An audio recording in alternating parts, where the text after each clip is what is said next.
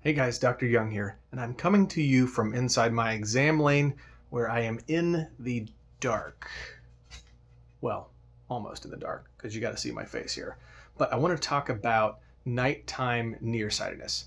Some people get this interesting condition where they see great during the day, but at nighttime they have trouble seeing, like to drive. So, why do we get that? Um, one of the reasons we can get that is because of pupil size. So I've got a little bit of light here. As you can see, my pupils are kind of normal size with some normal room light. But if you could see my pupils when I turn the lights off, they're actually going to get bigger. And so what happens is we let a lot more light into our eyes when the pupils are bigger. And sometimes that can create some glare, some blur, and that manifests itself when you're driving, creating those headlights on those cars to kind of wash out and make things difficult. Now, we also get a little worse at our night vision as we age. This is a function of how the retinal cells change. But um, what can we do right now to make our night vision better? So let's see. Turn the lights out here. Let's take a look at our eye chart down there.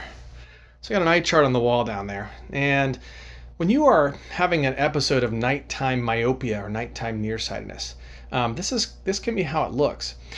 Uh, when you see your doctor and you tell your doctor this, they can actually make a pair of glasses that might be able to help you at nighttime. Maybe you just wear them to drive at night.